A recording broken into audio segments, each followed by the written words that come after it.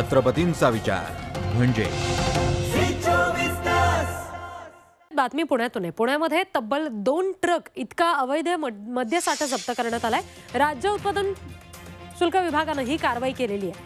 त्यामध्ये विविध ब्रँडच्या विदेशी मद्याचा समावेश आहे आणि त्यामध्ये दोन हजारपेक्षा जास्त बॉक्सेस आहेत जे जप्त करण्यात आले सगळा माल गोव्याहून आलेला होता आणि त्याची किंमत एक कोटींपेक्षा जास्त होती. या कारवाईमध्ये सात आरोपींना अटक झाली आहे आणि या कारवाईविषयी जाणून घेतलेलं आहे आमचे प्रतिनिधी अरुण मेहत्रे यांनी. एकतीस डिसेंबरच्या पार्श्वभूमीवरती पुण्यामध्ये राज्य उत्पादन शुल्क विभागानं मोठी कारवाई केली आहे. तब्बल दोन ट्रक इतका अवैध मद्यसाठा जप्त करण्यात आला आहे सध्या राज्य उत्पादन शुल्क कार्यालयाच्या बाहेरच हा मद्यसाठा ठेवण्यात आलेला आहे.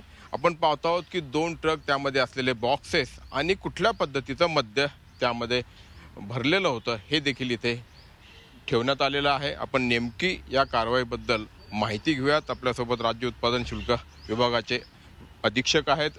राजपूत सर सर काय स्वरूपाची कारवाई आहे? मोठा मद्यसाठा मला वाटतं अलीकडच्या काळामध्ये एवढ्या मोठ्या प्रमाणावरची कारवाई ही पहिलीच असावी.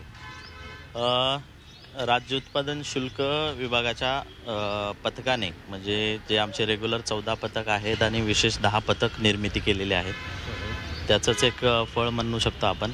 त्या अनुषंगाने आमच्या अधिकाऱ्यांनी प्रॉपर प्लॅनिंग करून थर्टी फर्स्टच्या अनुषंगाने सतर्क राज्य उत्पादन शुल्क पुणे विभाग सतर्क असल्याचा एक पुरावाच दाखवलेला आहे. आणि आज आमच्याकडे दोन ट्रक जप्त करण्यात आलेले आहेत पुणे.